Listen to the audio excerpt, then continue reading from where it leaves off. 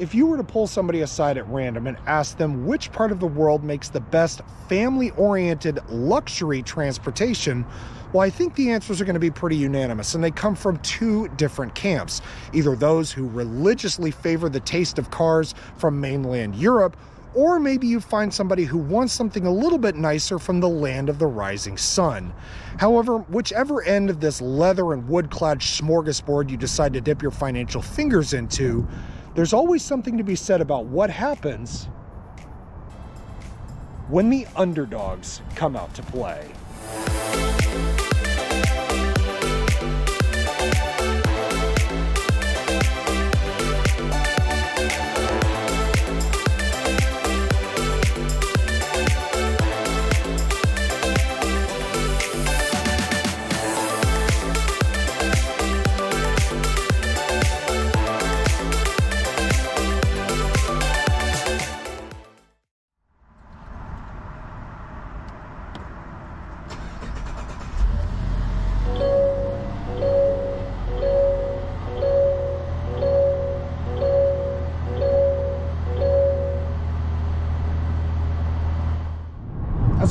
Journalists, our brains are often filled with plethoras of preconceived notions, especially when it comes to vehicles that we've gotten pretty used to over the years, and even more so when you've been dealing with particular manufacturers for years on end, like I have with Mazda North America, for example. And when I heard that the company was bringing out a completely new version of their largest three row crossover offering, I honestly had a suspicion that it was going to be better, but I never in a million years imagined that Mazda would have pulled out all the stops to not only make sure that the CX9 felt like a complete idea of the past, but that they would go so far as to change pretty much every thought that I had about the CX90 to begin with. Now, if its nomenclature is anything to go by, this should be 10 times the car, if not more than 10 times the car. And you know what? It is. And when I say 10 times the car, I'm not referring to the fact that it's bigger by a gargantuan standard in any way, because the CX90 on paper is only a couple of inches longer than the outgoing CX9. However, the 90 does have one thing up its sleeve that I'm genuinely pleased about, and something that was a little bit of a hindrance of mine in the CX9, and in fact, some of the other modern Mazdas that we see today, which is that it actually feels wider. Okay, the numbers on paper say it is a wider car, but it actually feels like a wider car. I don't feel like I'm gonna elbow my passenger just by sitting in my normal seating position. I don't feel like I'm scrunched into a sardine can either. And I'm to tell you what, aside from the width, this thing is comfy. I mean, it's not a Rolls Royce and it's nothing close to a Cadillac Escalade going down the road because I've got massive 21 inch wheels on this Turbo S Premium Plus test car of mine.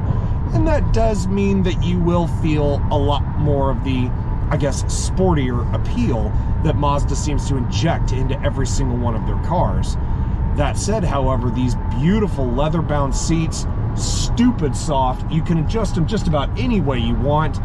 And all of this does come at a price, which is one thing I kind of wanted to tiptoe around because it's the most expensive Mazda I've ever driven. When I saw the window sticker coming in at over $61,000 for this car right here, needless to say, I heard a little scream coming out of my pocket. But if there's one area that I would say exemplifies the idea of the CX90 being 10 times or more than 10 times the car, it's in the way it performs. By far and away, this is the best driving Mazda I have ever gotten behind the wheel of. And that's excluding, you know, sports cars. That's kind of obvious. But I'm talking about just an everyday family vehicle. Because under the skin, for starters, I'm glad I have the i-Activ all-wheel drive in this car because for something that weighs as much as a three-bedroom family house, it is incredibly agile. When you show it some corners and you let the front differential start doing its thing with the electric power steering thrown in, the steering may be soft at slower speeds, but it weights up beautifully when you show it some corners at a little bit of a higher pace. That said, however, what this i-Activ all-wheel drive system is getting its power from is a whole different ballgame because gone is the long-legged six-speed Skyactiv automatic. Now don't get me wrong, it can handle the torque of their turbo four cylinders, but considering the firepower that this thing is carrying up front, it needed two extra gears. So we now have an eight-speed automatic transmission in the middle, and it is bolted to a silky smooth 340 horsepower, 369 foot-pounds of torque coming from a 3.3 liter inline six that's also turbocharged and direct injected and has a mild hybrid boost system attached to it as well. Yeah, Mazda's definitely aiming at the Europeans with that one, aren't they? Oh, and if you're feeling a little bit playful with that inline six and you feel that your family deserves a little bit of a, you know, shove in the back, a kick in the pants, as they say, well, there is the Mazda intelligent drive switch beautifully integrated into my lower center console here. And it has three different driving modes. You can keep it normal, like I am right now, you can go off-road, which I don't know why you would with big 21s on this thing and something that looks as nice as it does. But then there's the sport mode. Always my favorite part of driving a Mazda because it does sharpen things up actually quite a bit. So I'm gonna knock it up into sport mode. I'll let the transmission and everything settle itself out. And uh, let's poke it a little bit. Let's see what she'll do. Oh my God!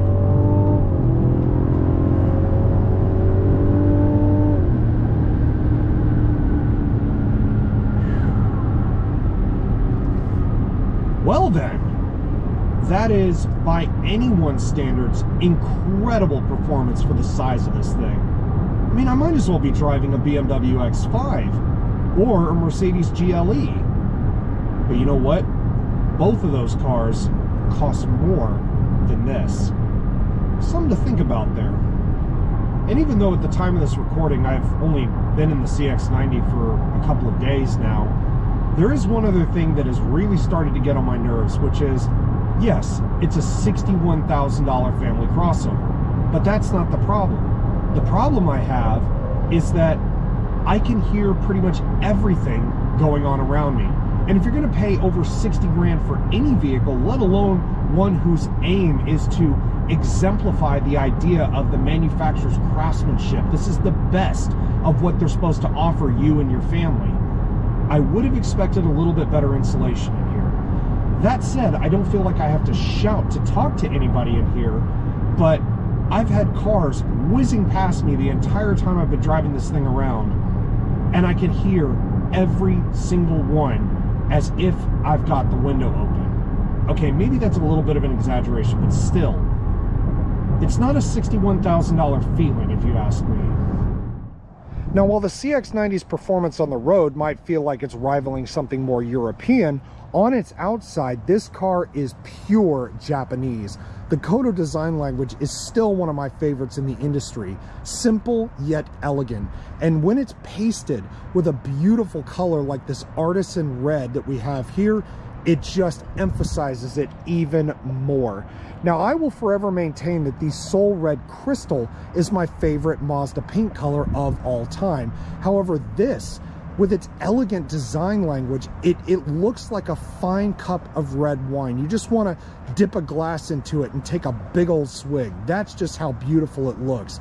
But in terms of the design, I feel like what Mazda has done is emphasizes and develop and hone what were the CX-9's shortcomings. I mean, look at the headlights. They're still a little bit small, but they're a little bit taller now. They edge out a little bit more. The curves are much more rounded and smooth.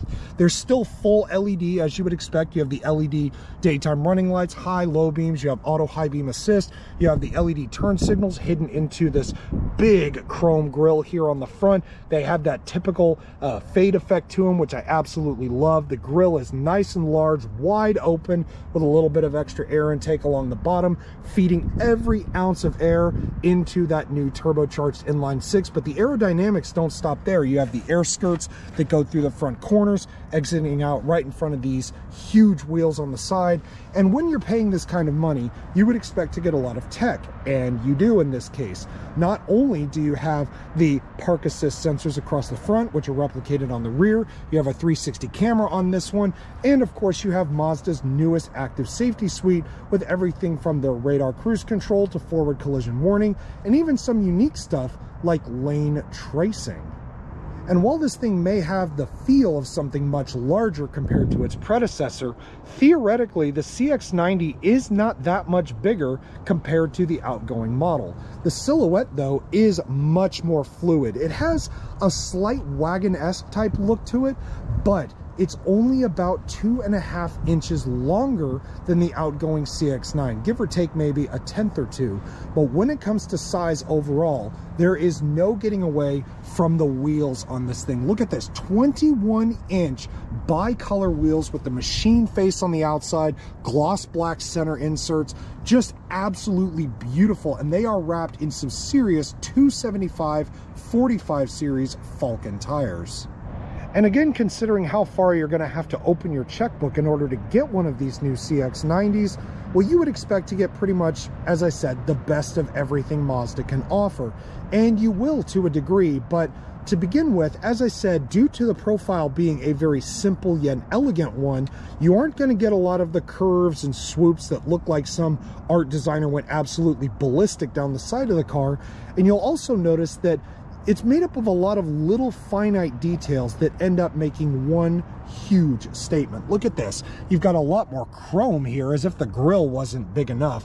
I mean, not only under the inline six badge on the side, but down there on the door sill with Mazda integrated into the rear haunches of the side sills. You've got the power folding exterior mirrors here, which are activated by the automatic door locks. You've got blind spot monitoring, rear cross traffic alert, LED turn signals in the side, all things you would fully expect. And there's even more chrome when you come up to the window trim. You've got the bright silver roof rails, which of course sit astride a huge double paned moonroof.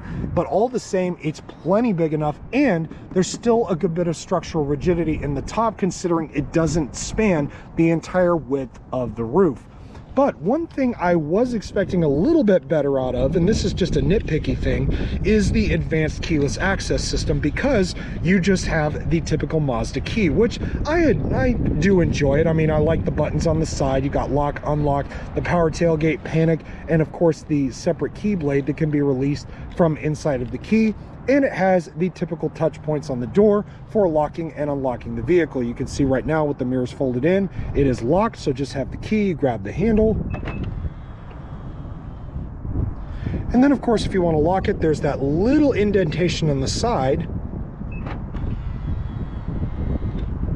Now, while you guys may have heard me ranting and raving about the front of this car being much more polarizing than before, I don't know that I can exactly sing the same tune about the rear of this thing.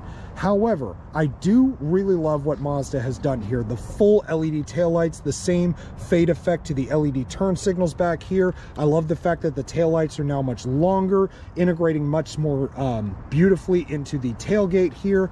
However, the design feature that kind of threw me off a bit is, uh, well, let's just say it's kind of pulling a Hank Hill back here because you notice while the trunk itself is a lot more curvaceous. It's not as bulbousy uh, compared to the CX-9. It is almost seamlessly integrated into the rear bumper. I kind of prefer, I guess this is just the American in me wanting a little more of a lip, maybe something to set something on. Uh, should I be wanting to open the standard power tailgate here to put something up in the rear of this car. But there are a couple of things that I really do enjoy aside from just the design back here. You do still get some tech like the rear uh, parking sensors, as I mentioned before. There is still a lot of chrome, as if there wasn't enough that you've seen already. And, um, well, I think most people will enjoy the fact that along with that power tailgate, you get the hands-free access. So you kick your foot underneath, the tailgate pops, and opens to reveal what should be a pretty sizable amount of cargo space, and there is, depending on which way you look at it.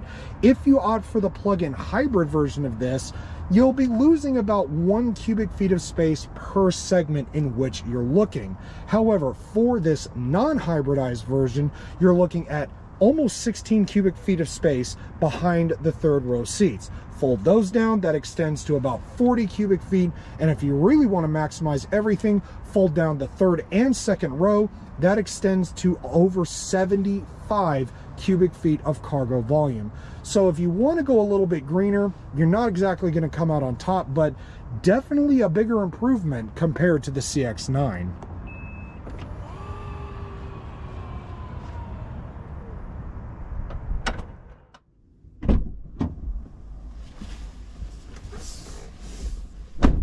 Now, while the CX90 may be putting on a very elegant act to follow on the face of it, when you step inside, I mean, this is one of the most premium interiors I've ever seen outside of the mainstream luxury brands. And before you even get to admire the details, I mean, I have infinite amounts more room in here than I ever got in the CX-9. On top of that, the visibility is still fantastic, maybe except for the rear window that's still kind of an Achilles heel of these big three-row SUVs because it is a little bit on the thin side.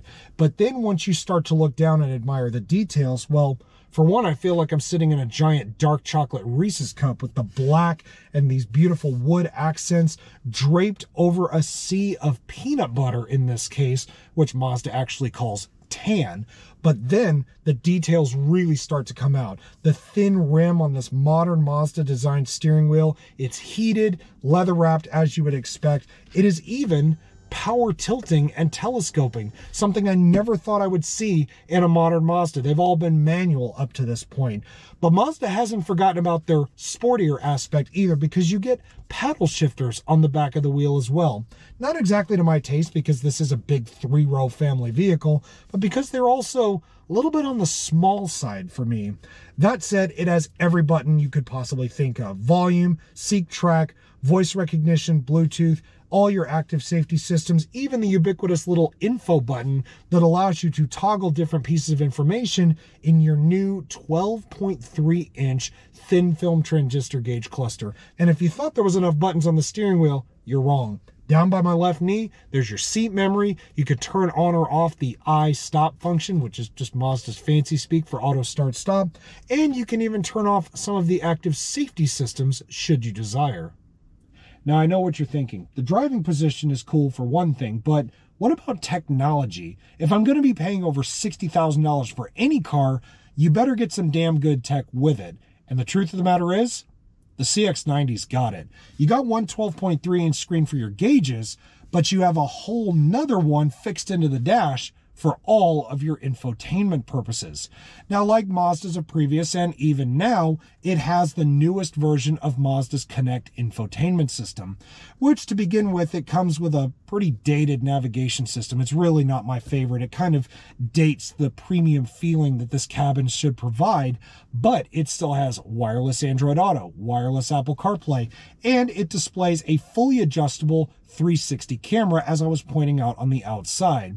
Oh, and speaking of noise, if the technology doesn't impress you enough, maybe the sound system will, because Mazda and Bose audio systems have had a pretty good relationship over the years, even if the response from the clientele hasn't been exactly what they were hoping for. However, the 12 speaker Bose audio system in this really does feel like Mazda has finally given their Bose partnership a helping hand. I feel like that's what they've needed in the past. They were good and they sounded good, at least to me, but like I said, not everybody really enjoyed what Mazda was providing. However, like I said, the system in this, it really does feel like Mazda has finally put not only their money where their mouth is, but also where their ears are as well.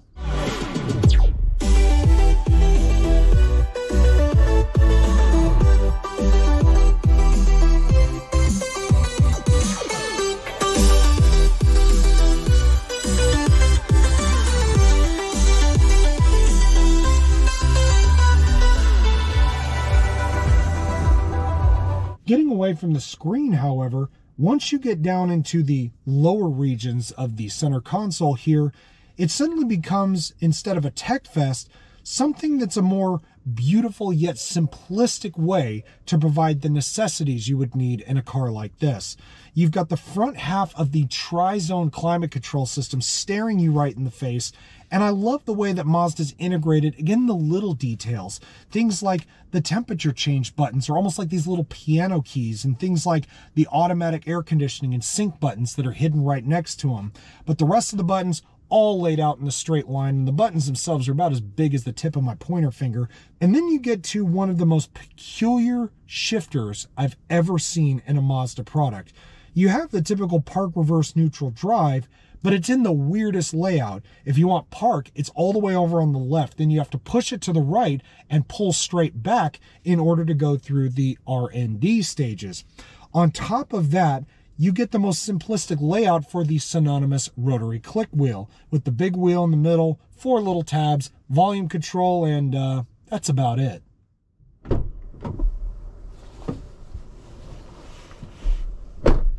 And as much of a treat as it is for me to actually drive the CX90, I'm not going to lie, being in the back seats here, at least in the second row, it's not that bad of a place to spend your time at all. I did find, however, that as somebody over six feet tall or right around there, just depending on what the doctor says, this car presents the same exact issue as its predecessor, which is the seats, you know, when they're in the right position, I only have about two fingers worth of room between my knees and the leather clad backs of the seats. And again, that's with the driver's seat in the position I would have it while I'm up in the front. Now, that being said, once you're back here, if you can get past the hindrance of too little leg room, it is absolutely perfect. The captain's chairs on this one mean that I have a lot more wiggle room back here, but on top of that, I've got a fixed console here in the middle, which not only gives you a nice little split compartment here, but it also gives you a little ace in the hole with a secret compartment hidden into the front of the console itself. That all sounds pretty comforting even with things like sunshades back here as well. But the biggest comfort comes from the rear half of that tri-zone climate control because not only do you have all the usual you know stuff you would think of temperature controls fan speeds and so on but these outboard captain's chairs are not only heated but they are ventilated as standard on this particular model and i think that deserves a $61000 thumbs up from me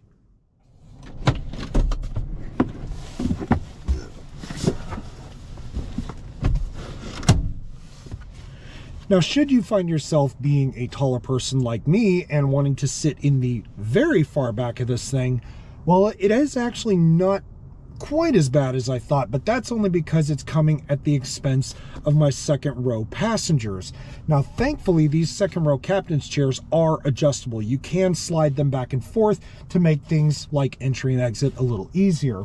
Same thing with the latch on the side of the seat the seats scoot forward, and now all of a sudden I actually have a lot more room. But I don't think my second row passenger is going to want to be face planted into the back of the driver's seat. Nonetheless, we have one USB-C charger on each side. I've got a couple of cup holders, and that's about all the creature comforts you're going to get should you decide you want to be squeezed in the back like a sardine. And on that note, ladies and gentlemen, this now wraps up our review and drive of the all new 2024 Mazda CX90.